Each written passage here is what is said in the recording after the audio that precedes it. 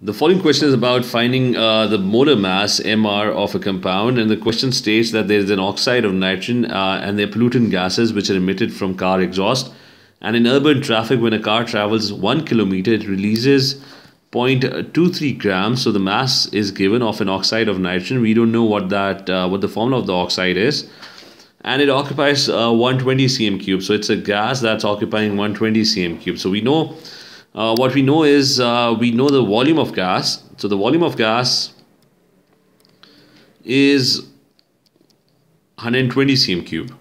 Now using this volume of gas, and he's talking about room temperature and pressure. So uh, using the volume of gas, we can find the moles of gas. Moles of gas would be are basically moles of gas is calculated using the volume of gas, which is 120 divided by the molar volume of gas, which in terms of cm cube would be 24,000 cm cube.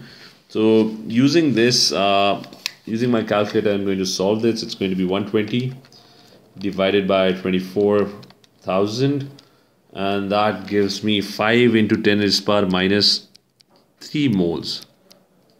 So it gives me 5 into 10 is power minus 3 moles. So I found the moles of this oxide and I also have the mass of this oxide which is 0.23 grams. So if you have moles and you have mass, now moles is moles is equal to mass divided by the molar mass which is the MR. We need to find the MR so that we can know how many nitrogen and how many oxygens there are.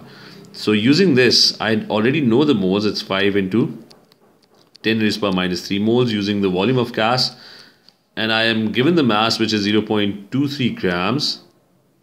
And I'm going to find what the MR is.